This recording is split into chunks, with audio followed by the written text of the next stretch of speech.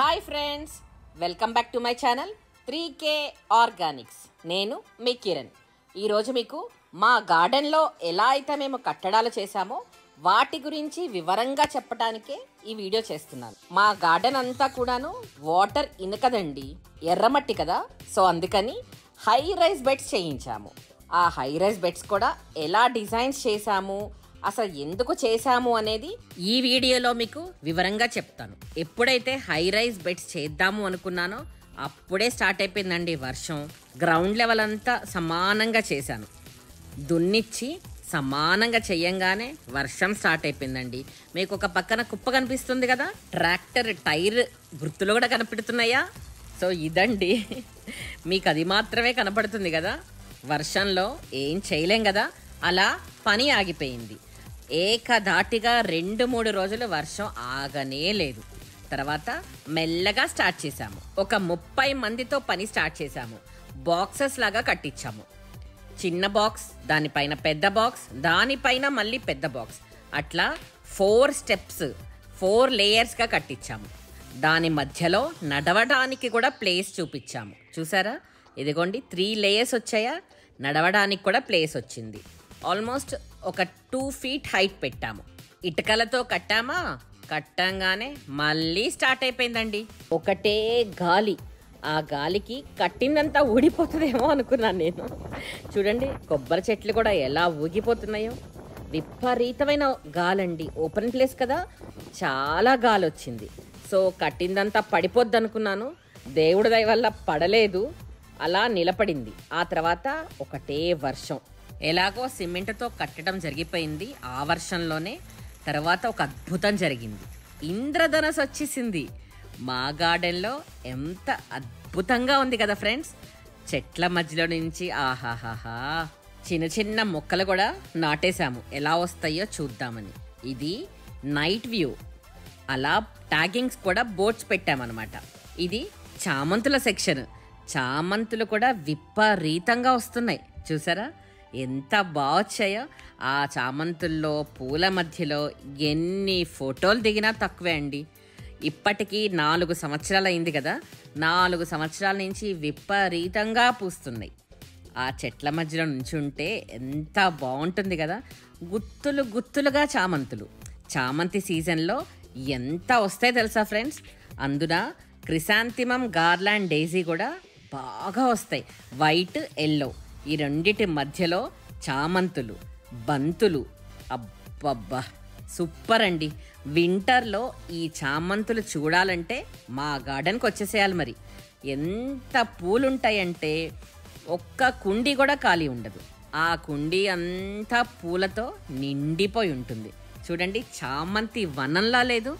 ఇది రౌండ్గా సర్కిల్ లాగా కట్టాము ఫ్రెండ్స్. దీని పేరు పద్మ వ్యూహం అని పెట్టుకున్నాము. ఇందులో ఫ్లవర్స్ కోసం కట్టాను. చాలా బాగొస్తాయి ఇది బాక్సెస్ బాక్సెస్గా కట్టాము. ఇందులో పుదీనా వేశాను మెయిన్గా. క్యాబేజీ క్యాలీఫ్లవర్ కూడా అద్భుతంగా వస్తుంది. ఇలా పక్క పక్కన కట్టించాను ఈ పద్మవ్యూహంలో మొక్కలు కూడా నాటేశాను. అదే మన ఫ్లవరింగ్ మొక్కలు. ఈ బాక్సెస్లా ఉన్న వాటిలో పల్లీలు వేసాం ఫ్రెండ్స్. సూపర్గా వచ్చాయి. ఈ కట్టడాలు ఆకుకూరలకి. చిన్న చిన్న బాక్సెస్ లాగా ఉన్నాయి కదా. అందులో కొత్తిమీర వేయటానికి.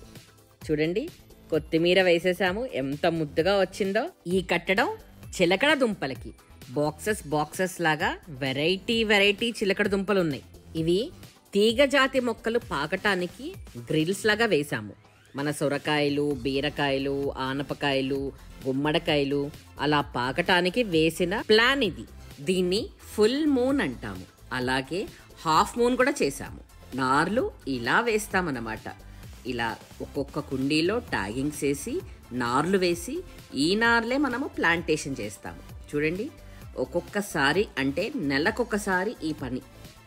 ఇలా అన్ని నార్లు వేశాక అప్పుడు ఏం మొలుస్తున్నాయో ఏవి హెల్దీగా ఉన్నాయో తెలుస్తాయి కదా. అందుకని ఇలా ఫస్ట్ నారు వేసుకోవాలి.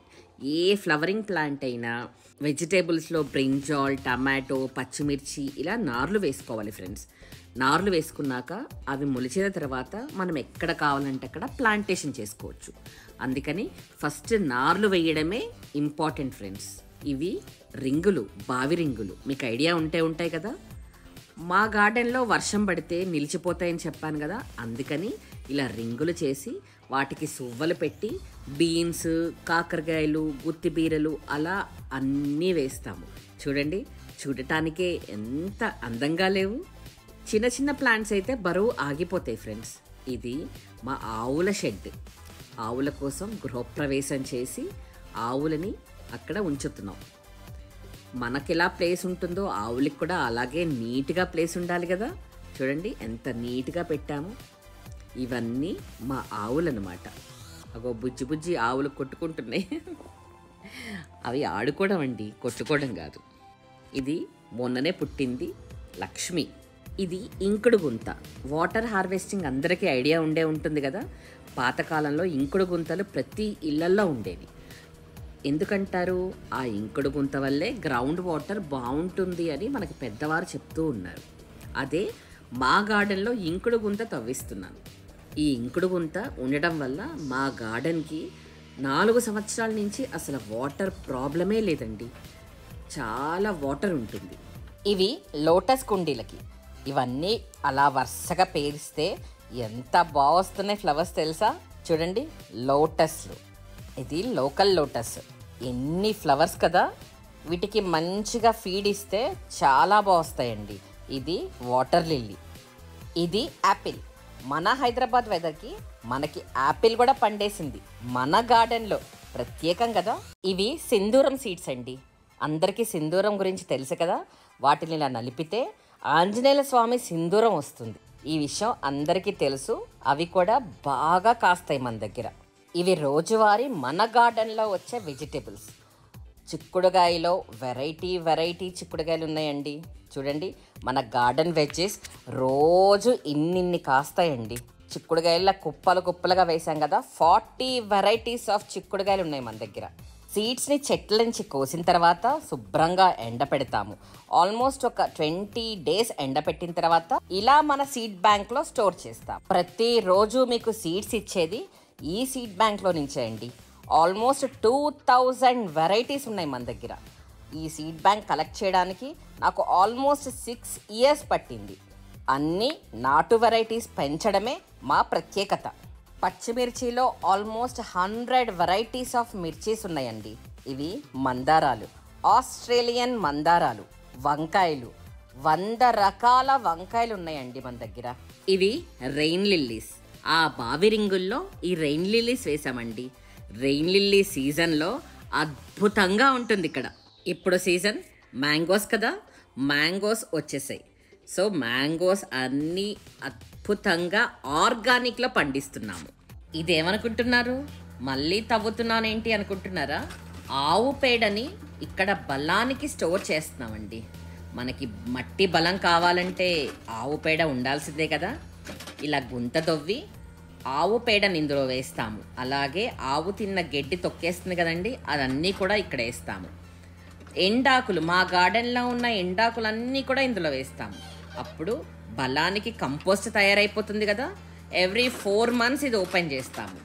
చేసి మా గార్డెన్లో మొత్తం అన్ని మొక్కలకి వేసేస్తాము. మా గార్డెన్ అందం చూడాలంటే వర్షాకాలం అండి. వర్షాకాలం చలికాలం మొత్తం గ్రీనరీతో చాలా చాలా బాగుంటుంది. అండ్ వర్షానికి అలా చెట్లు ఊగుతూ ఉంటే మనల్ని పలకరిస్తున్నట్టు ఉంటుంది. చూడండి వర్షానికి ఎంత అందంగా ఉందో గార్డెన్. మీ అందరికీ కూడా మా గార్డెన్కి రావాలనిపిస్తుంది కదా? రావాలి అనుకున్న వారు నాకు వాట్సాప్ చేయండి. నా WhatsApp number nine one double three triple one triple two. సదా మీ సేవలో మీ త్రీ కే ఆర్గానిక్స్.